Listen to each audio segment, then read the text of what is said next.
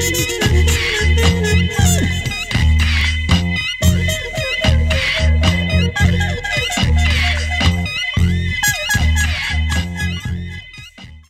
Clarence Waldron. Welcome back to Black Muse. But before we get ready for tonight's show, I really want to give a special thank you and a, an acknowledgement to Howard Sandifer and Darlene Sandifer, the founders of the Chicago West Community Music Center on the west side of Chicago, for coming up with this idea of doing a video podcast. They said, let's get up close and personal with some of our favorite celebs and newsmakers. So with that in mind, tonight we have Mr. Maurice White. He is the son of the late, great Granville White, better known as Granny White.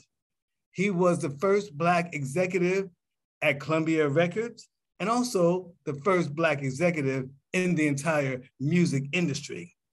He handled everybody from Aretha Franklin, Johnny Mathis, Tony Bennett, Mahalia Jackson, the gospel legend from Chicago, as well as Earth, and Fire and a whole lot more.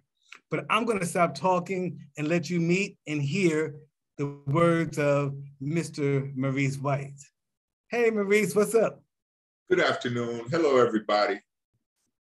Okay. All right. So, of course, your father had to face a lot of challenges as a Black man in the uh, music industry at that time. Can, did, do you have any idea of what he was facing back in the 50s and 60s? Uh, yeah, he had no blueprint. Uh, segregation was real.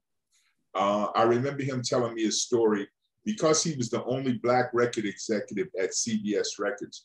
They were holding a convention in New Orleans, and he could only be in the hotel in the daytime. In the evening, he had to stay out in the Black neighborhoods.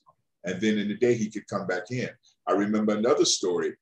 He and Tony Bennett were very close to each other, and they were in Miami. And Tony Bennett had this big suite down in South Beach. And he said, Hey, Granny, why don't you come stay with me? Well, when they walked into the hotel, the uh, security guard asked, Can I help you?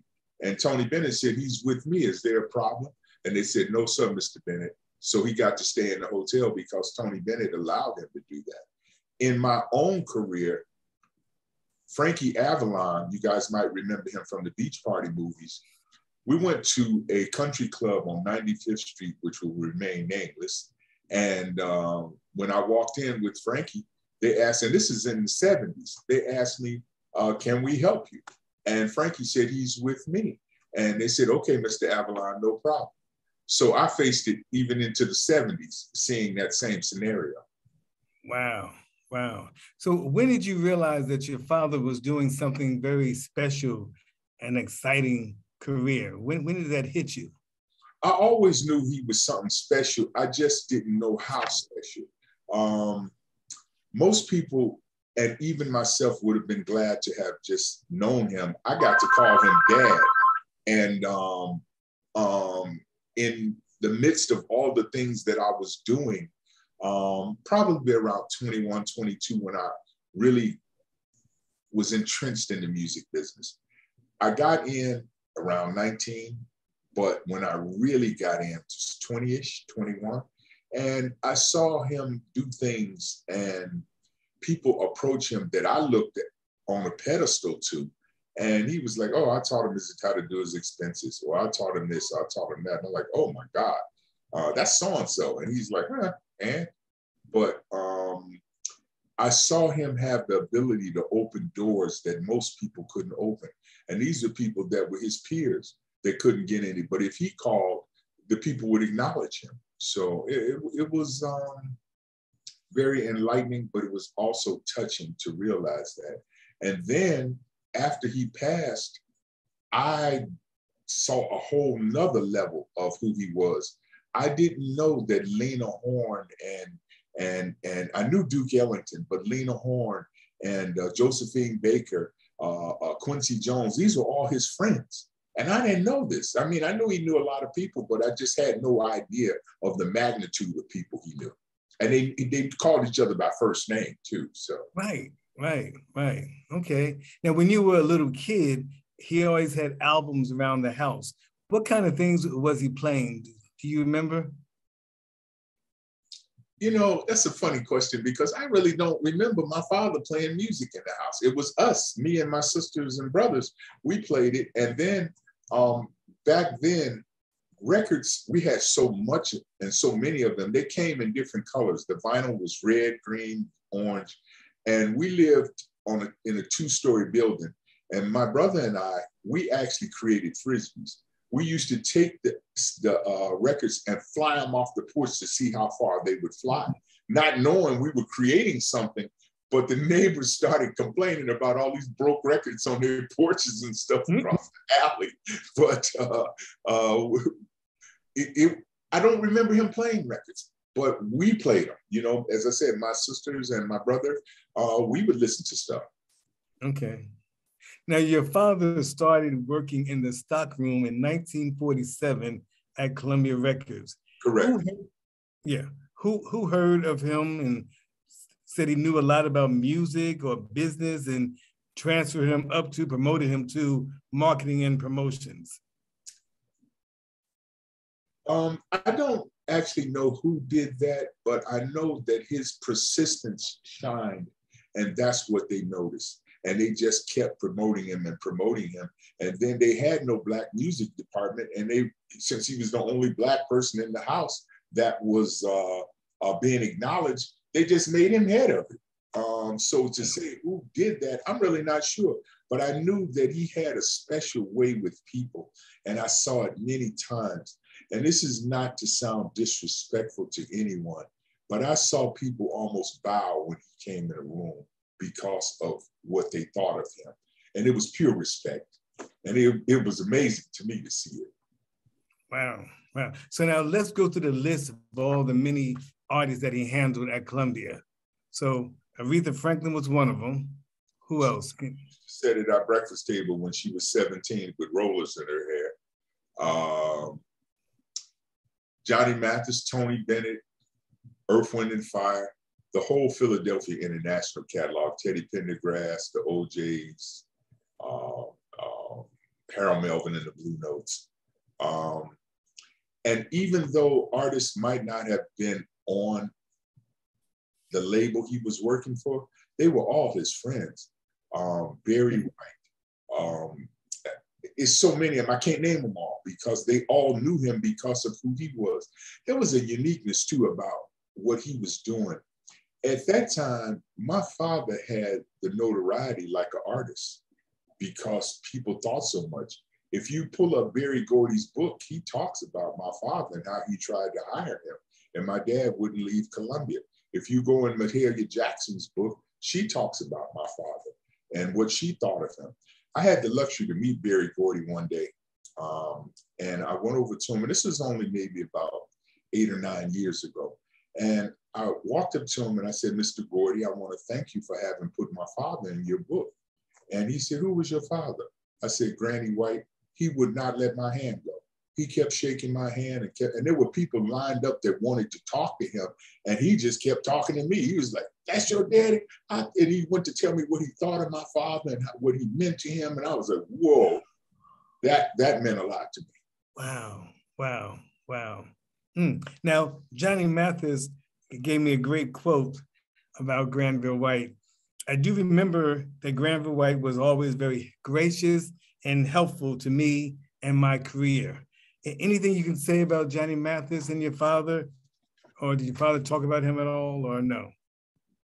Uh, yes, in the beginning of his career, they didn't know what to do with Johnny Mathis. They didn't know what kind of artist he was going to be. And I want to say it was Wonderful was his first hit record or Misty. I think it was Wonderful though. Wonderful, wonderful, yes. Anyway, he came to Chicago in January with uh, a t-shirt on and some gym shoes and no socks. And my father bought him a coat. And years later, Johnny Mathis sent him a check in a frame saying, here's a dollar deposit back on the coat you bought me. okay. Okay. All right. Now, Aretha Franklin just absolutely adored your father. You know, she said Granny was one of the first important men at Columbia Records. African Americans were almost unheard of at major companies other than the artist. He was a fun loving and straight up businessman. We had great promo schedules back in the day. He was very professional and on the money. And so is Maurice. The apple doesn't fall too far from the tree. Granny took me to meet and be interviewed by all the DJs, including Herb Kent, when I was a teenager. What are your What are your thoughts about Aretha? They were so close to each other. They were sister and brother. And I remember sitting. Um, she had left Columbia. She had went to Atlantic, and Call Me was the number one record in the country. And I was sitting on the couch next to my father, and she called him, and she said, "Granny, I want you to be my manager." And he turned her down, and I couldn't believe it. I'm like, this woman got the biggest record in the country. She's this, that, and the other. And I asked him, I said, Dad, why did you do that? He said, I'm thinking about my family. She's one person. If I leave this company and something happens to her, what happens to my family? So I have um, um, been here all these years. And even though I'm honored and she's my friend and, and my sister, and I'll do anything I can for her, um, I'm thinking about the family as opposed to me. I, in my own career, would have taken that opportunity, but that's me. I'm not my father. And um, I respect his decisions, even down to never moving to New York and had many opportunities to go to New York. And, and, and um, different people were brought in above him, and none of them ever touched him, first of all, because they knew the, the um, importance that he played in, in, inside the company, but um, the fact that he um, he never chose to go to New York. And I asked him that question, and he said to me, because black people, they're only going to let you go so high, and then at a certain point, you're out. I moved to New York, I'm out after they get done with me. I can stay out here in the field and do whatever I want to do and still have the same influence that I have if I was in New York. At the time, once again, I didn't understand that, but now I do. I get it.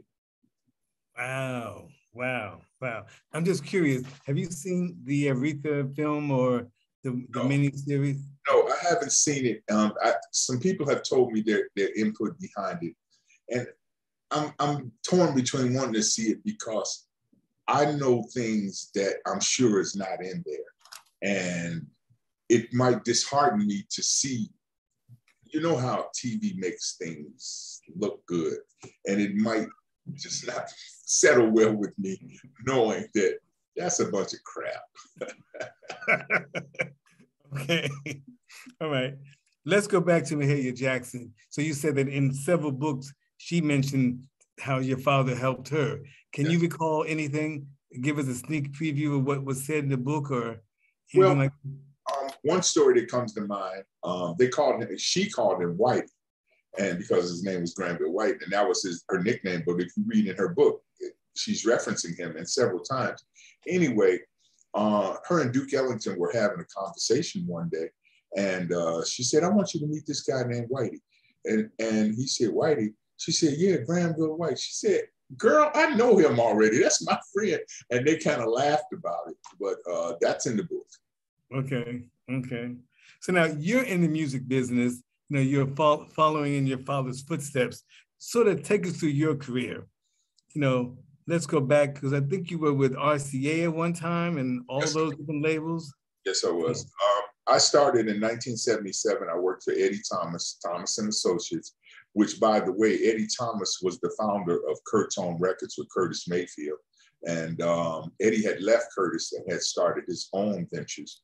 And I went to work for Eddie. I worked for him for about a year, left there and went to Progress Record Distributors, which was locally.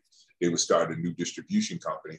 When I got there, the first record I ever worked was Disco Duck. And we had one record company. And when I left there two and a half years later, we had over 250 labels um, from Fantasy to Motown to London Records. I mean, my experience working there was phenomenal. That's where I met Fra- Frankie Avalon. That's where I, I, met Pavarotti. I actually got a chance to meet Pavarotti and go to one of his concerts, which was amazing to me because I had never sat and saw something like that, but I got a chance to meet him. Um, I worked with Sylvester and Two Tons of Fun. uh, didn't know the magnitude that Sylvester would carry and in opening that genre of music. And um, then leaving there, I went to go work for Polydor Records and I stayed there a year and a half.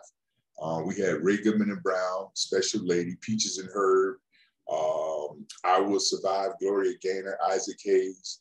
Uh, we had hit after hit. And I left there and started my own company. Notice I'm not staying too long. Grass isn't growing under my feet, but because I become restless, I um I have this energy level that I see things. And uh, I remember my dad telling me, um, son, you got a great job. Why are you leaving? And I told him, I'm young enough to go back if I need to. Right now, I need to try this. And he looked at me and was like, go for it. Keep in mind, he had worked for the same company for 36 years. So leaving a company is unheard of, even down to my in-laws and, and, and other people of that era. When you found a good job, you kept it. I was like, I want to try something else. Plus, I, I had this entrepreneurial spirit in me. I always wanted to be the boss. And um, I kind of like that position. okay. All right. Now, your daughter is also in the uh, music industry. Yes. What is she doing now? This is Granville's granddaughter. Right. Yes. My daughter, uh, Alexis White, she uh, worked for Epic Records for four years. Well, first of all, she worked for me for five years after she graduated from college. We couldn't find her a job. And I said, Well, you come work for me. And for five years, she worked for me. Then she got a job at Epic Records. She was there for two years and transferred over to Roc Nation. Then an interesting ha- thing happened. One day they came in and fired the whole staff after about a year. Everybody got fired. And she was so distraught about it. And I, I said, This is no fault of yours. You didn't do anything wrong. It was what that company chose to do at that moment. So after about 60 days, I grabbed her and said, Listen to me. What God do you serve? And God doesn't take you someplace and drop you. He takes you someplace because he has something else for you. Short of the story, she started her own company now and she's doing marketing and promotion. She's working for every major record company on it. So wow. Things happen for a reason and why they happen, we, we can't tell at that moment. However, the goodness is there. And if you notice in the Bible, it always talked about it always talks about victory. And I've had to point that out to her. It ends in victory. So you're going to win. Just stay the course. And she's doing fantastic right now. I'm very proud of her. And uh, some days I think she thinks I work for her. She'll say some stuff. okay. Okay. okay.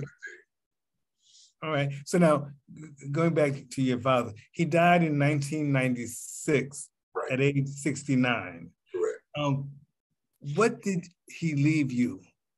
What did your father leave you? And that actually sounds like a little book title, but what did your father leave you in terms of information, in terms of advice, in terms of how to live? Just what did he leave you?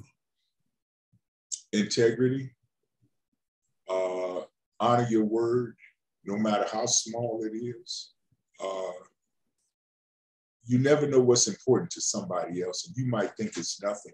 And uh, he showed me that constantly how if somebody, if you take on an assignment, do the best that you can to complete that assignment. And you never know where it's going to take you. And people notice that. Um, I could never attempt to be who he was. Um, he was bigger than life itself to me. Forget that he was my father, but I saw him have the ability to interact with people that amazed me. And um, he showed me that. And I've tried to pass that on to my kids. I have two daughters actually, and uh, uh, my youngest is works in the music business, but my oldest and my grandson, who we're letting him do some rap music right now because his grades are pretty good. But I told him this is not your job. This is a hobby right now. If it if you should make money from it, then it becomes a job. But right now, I want you to think purely on school, and I'm letting you do this because it's a hobby. So don't okay. get it twisted. Don't get it twisted. Yeah. What What would be your father's legacy to today? How would he like to be remembered? by the men and women in the industry or just Black America? That he forged and paved the way without a blueprint. That he did what he had to do to exist and to let the music shine, to let our music come to light. When he started, it was still called race music, and um, that he put it in the forefront. And my father, his best friend was Carl Davis, who was my godfather. And Carl Davis produced the Dells, the Chi-Lites, Walter Jackson, Gene Chandler, um, one of the greatest producers of that era. And and that I watched these men uh, once again had no blueprint. They just carved a way out of nothing, and to be remembered as that they made a footprint. I think he would also be saddened to see where music is right now because some of this stuff, thank God we make money from it because it just, I call it the McDonald's era. It's fast food. You eat it, you digest it, and then you're on to something else. I just read an article this morning, ironically, and was talking about catalog music and that radio stations, um, there's, you know, oldie stations that are doing very well, but these catalogs are selling still at these record companies. This, in this particular article, this guy was saying he was in a restaurant the other day, and these kids that were working in there were 30 and younger, and um, um, they were playing music out of the 70s and 80s. And he said they were walking around singing and stuff. And he asked one of the girls, why are you guys playing this music? They said, because we like it. Uh, well, you know, it's essence to that music. They, the way they recorded, uh, the, the musicians that played on the stuff were all stars in their own rights.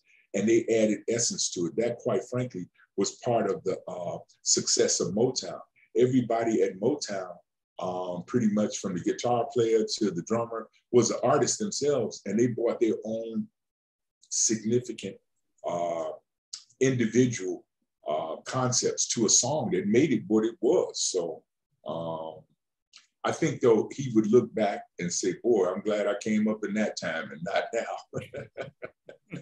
okay, all right. Now, how did he spend his retirement? He retired in 1983 after 36 years. What? How did he spend his days, his his months, years? Do you think?